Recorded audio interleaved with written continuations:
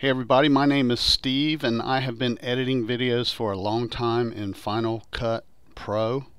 So today I thought I would just show you the absolute easiest way that you can export a video and you know upload it to wherever, YouTube or wherever, but the absolute quickest and easiest way to export a video. So right here I have, uh, this is some of my recent drone footage. Let's say that this was my completed video. It's ready to be exported and uploaded to YouTube. So here's what you do.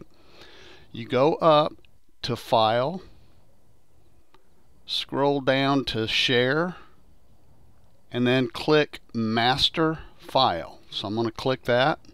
You're going to get a window that pops up, Master File. It's going to have some information there Uh, it's going to have some settings. So in the settings, what you want to do is make sure you're at video and audio. If you've got audio, you certainly want that included. Use the video codec H264.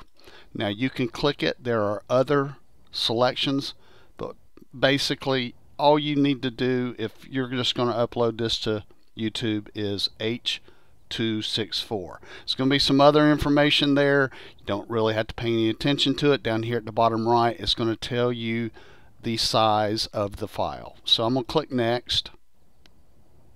Now it's going to uh, give me a where do I want to store it. So I've got it titled as Dolphins. It's on my desktop. I'm good with all that. So down here at the bottom right, you can click the Save and I already have that file. I'm going to replace it with this file.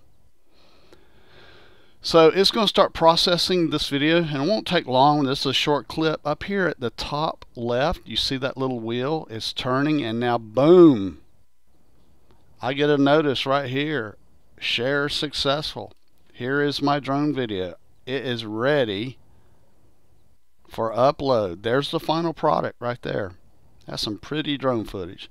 But now all you have to do is go to your desktop, find that file, and upload to YouTube. So that is the easiest way to export from Final Cut Pro.